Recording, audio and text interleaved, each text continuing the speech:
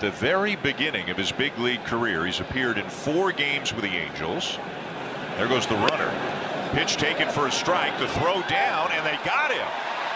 Leo Jimenez doing a great job to short hop that throw. To challenge, but Alejandro Kirk does a nice job getting rid of this ball quickly. He short hops Jimenez just a bit, and Leo's glove comes up a hair when he picks it, and he's got to go back down. I'm not sure he got down there in time, but it doesn't look like there's going to be a chance.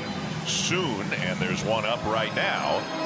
Uh, the Blue Jays again. Ball get deep and go the other way. That's a fair ball. And it's going to get all the way down into the corner. Horwitz will come in to score easily, and it's an RBI double for Alejandro Kirk. Or the other option is you pull it inside the third BI double. It's the changeup from Burke, and it's down and in, and Alejandro just goes down to get it, gets the bat head to it, and just tucks it inside that bag.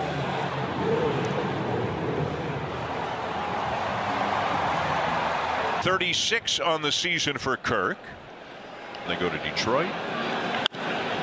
Grounded down to third, backhanded by Rendon. One down. By that's it. I mean five scoreless innings. Ground ball to short. One down.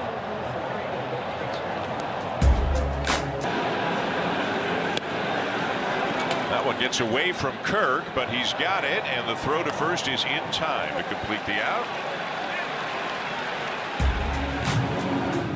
He got healthy, and in the absence of Jordan Romano, Kirk with a drive to the opposite field. It's well hit, and it's off the wall.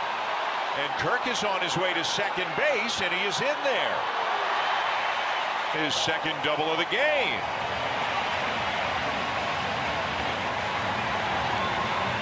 Well, we've been talking about how Griffin Canning has predominantly been staying away from these right-handed hit. Very nice swing by Kirk. It's a fastball pretty well in the middle of the plate. But not trying to pull that pitch. Let it get deep. Drove it hard and almost got it into the Angels bullpen.